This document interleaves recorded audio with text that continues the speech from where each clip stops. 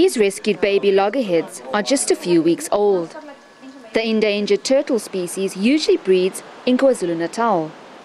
Strong winds and sea conditions force these little ones southwards.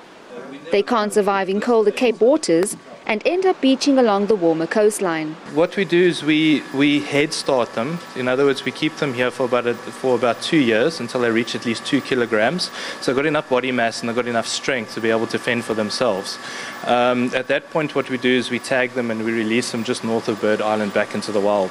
Um, the, what they'll do is they'll spend uh, the next 10 to 12 years on the Agulhas bank or out at sea, and then at some point in time when they're sexually mature, they'll start migrating back up the coastline to the north where they'll make their way back to the breeding beaches again. Scientists are still baffled, but most will find their way back to the exact same beach where they hatched, often more than 1,000 kilometers away. They're not pets.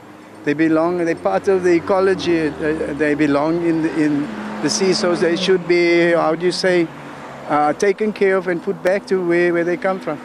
It's quite a shame that they're washing up here, and uh, I would take them to Bayworld and see if they can't save them and put them back where they need to be. I would try my best to take it back to its like natural habitat, or try to get the people that are well equipped and well aware about these turtles to take care of them instead of taking them home. Well, I mean, I'm visiting from California. I haven't seen uh, turtles here being washed up, but it makes no sense, first of all, absolutely, to take them home as any sort of pets. Uh, they're obviously out of their natural environment.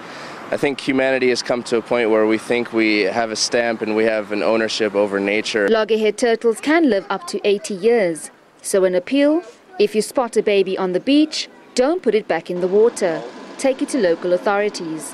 This tiny turtle is between two and six weeks and can grow up until a whopping weight of 130 kilograms, just like the resident turtle here at Bayworld.